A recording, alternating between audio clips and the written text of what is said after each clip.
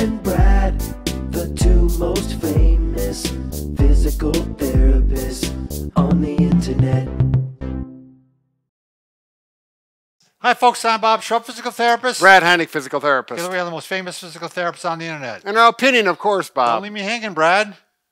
Oh, yeah, yeah, yeah. Today we're going to talk about the best five-minute walking balance exercise mm-hmm. after a stroke or foot drop. This is to help prevent falls, Right. which is a real danger actually after you've had a stroke or if you have foot drop, you're, you're very high risk for that. Right. And it'll help improve your walking and gait. So if you're new to our oh, channel, Oh, please take a second to subscribe to us. We provide videos on stay healthy, fit, pain-free, and we upload every day. Also, if you get a chance, go to bobandbrad.com. This week we're giving away a knee glide. This Ah. is a device you're going to need if you just had a knee replacement or knee surgery or Right. preparing for that. Absolutely, You Bob. talk about Brad. You go to bobandbrad.com, go to the giveaway section, and you can sign up for the contest. Go to Facebook. The contest will be pinned to the top of the page. If you go to Twitter or Instagram or TikTok, we have a 60 second version of our program. Brad's showing a little bit of the knee glide. It can actually go up on the stand here and get different angles, and you can turn it around and, and Bonus. hamstring. So Yes. it's got all sorts of cool things. Bob, can we get on with the program? Yeah, let's go. All right, here we go. So you may have noticed I have uh, three sticks here with some, I guess we're going to call it pink, actually duct tape on there. I thought you had four sticks. Four. Did I say three? Three, yeah. Eh, things are happening, Bob, upstairs Sorry. for me. Anyways, uh, these are key for the uh, uh, technique and the exercise we're going to do. Very simple. You can just, uh, they're Tell just how they make these, Brad. Yeah, they're just wood, or actually, these are that other plastic material. But I, I just went to a local uh, box store like a Menards, if you know what that is, where a building supply, and you can buy these for about, I think, three dollars Yeah, for and they eight were- foot. Oh, they were eight foot because it looks like you have the, Yeah. the thing on there. Oh, yeah. I just you do have to cut them. Got them, sure. About two foot long, and then I just put a piece of tape on there. Depending on the color and the color of your floor, you want to make it so you can see them clearly. So you um, put some tape on it. right, yeah. exactly. All right. So, So, I'm um, going to step out. Yeah. So, you know, if you're having problems when you're walking, uh, you know, if you've had a stroke, uh, sometimes you have foot drop as a result of a stroke. You may have foot drop as a result of another uh, issue, which, uh, you know, there's a number of different things. Neuropathy or Right. like that. But, and, and you have to be to the point where you're actually up and walking, but your quality of walking and you're you're not feeling steady, and that foot may be dropping, uh, or, or you Dragging. find you're right, dragging, or you find yourself kind of circumducting to to get away from it, and you just feel unsteady. You may be using a cane. Uh, or a walker transitioning to a cane. Uh, this would be a nice exercise. Yeah, you want to get in the habit of picking that foot up enough that you're clearing the floor. Right. Because if you don't, you're going to catch Mhm. and then you're going to go down. Right. So- Particularly like outside, you know, if on a sidewalk you got a little Uneven surface. Exactly. When you drag that foot, your toe catches, and that's all it takes for a fall. Yeah. So what you'll need is four of these, two foot long, roughly, to be exact, a chair. It, it would be nice if you had a chair with an armrest. That's optional. And a smooth floor works best. Carpeting will work, uh, but best to start on a smooth floor for a couple of reasons. It's it's easier to balance for one, and it works best with the sticks, and you'll see. Right. So you put one stick here right below the chair, and then the other one position like this, and then like this, and then like this. There Now- we go. Now, to start this out, I highly recommend you're either going to use a cane, a balance stick, and someone to help. Right. And you can see I have around me, this is not for style, this is a gait belt so that my helper can grab that if I lose my balance to prevent the fall versus grabbing clothing or an arm. So right now, I'm not going to grab the belt, Brad, but that's what I would do normally. Is I would Right, Bob would be standing here, actually for the video here, and we don't have enough Right. room. Um, and one hand on the belt, your helper does, and just walk alongside and in make sure you lose your balance. Exactly. Um, I'm going to use the- the Booyah stick because that works well too, but you can use a cane. Uh, works work, works well. So this is how the system starts. You start in your chair.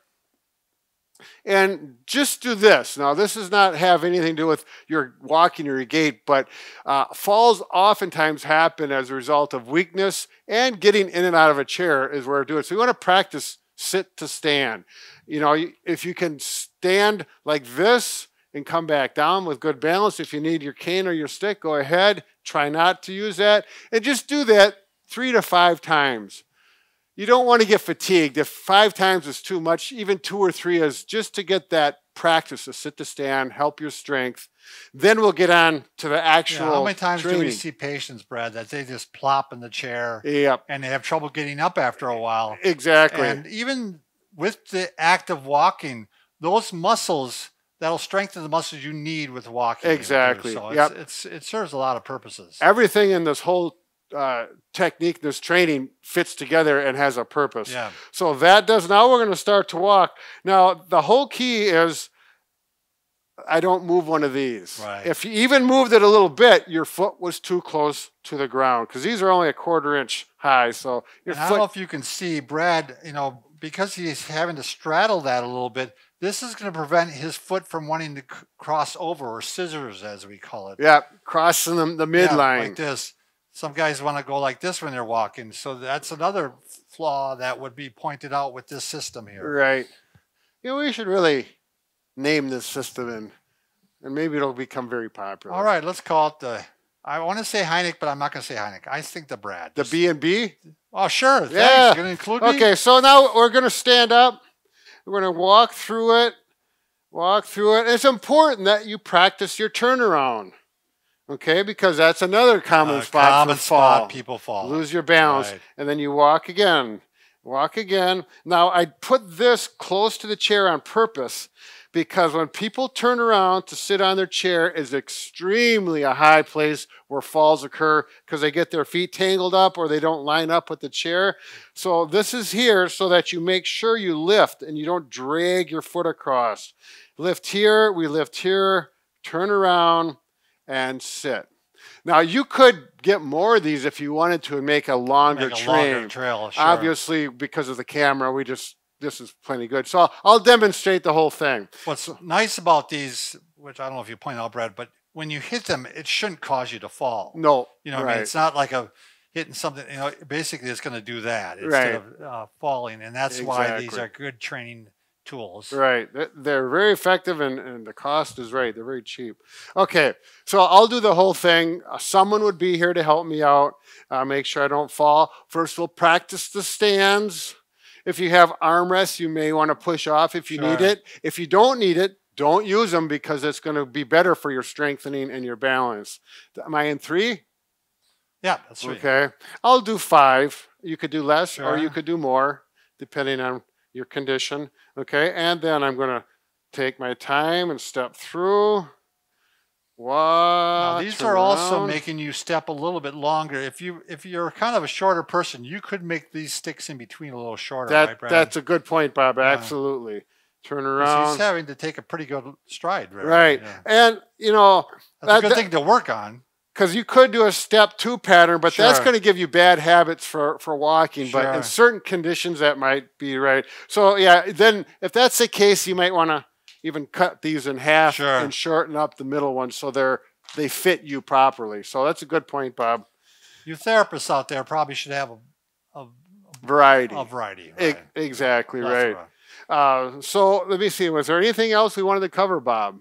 I th- you talked you talked about turnaround, and you know again, this is gonna if you have foot drop, either you're gonna use a brace to help lift it up over these, Yeah, or you're gonna learn you got to pick your feet up a little bit higher you, exactly. to get that yeah. foot through. And hopefully your, your anterior tib muscle will yeah, get better with back in. time, and then Right. you will get that dorsiflexion. Uh, there's one other thing I wanted to mention, Bob, uh, but I can't remember. Okay. You'll remember it right after the video's over. No, You'll say, "Darn it, that's what I want." oh, I know what it, you can do, and this is probably more for a therapist. Actually, time it. Oh, sure. You know, you know, if it takes me the first time, I, I'm going pretty slow, and you have to think about it. We do have a And- time uh, test. that, Yep. You know, It's called a get up and get go up and test. go. Yeah. And this is this would be like a modified get up and go. But let's say the first time it took you 45 seconds, which is possible, and you bumped tw- two sticks Sure. perhaps. You'd write that down, and then two weeks later, after practicing, it might be down to 20 seconds without bumping any sticks. Then you know you've made progress. It's because a lot of times you can't remember. Right, and it gives you started. a, a goal then to shoot for, and it makes you you know proud when you do reach. Absolutely, So- absolutely. By the way, Brad and I can fix just about anything Except for, a broken heart, but we're working on it. and and we're going to continue to work on it. we're going to call that the B and B heart fix system. I, I took the weekend off. I didn't work on it this weekend. Oh, no kidding. Oh, no. Thanks for watching.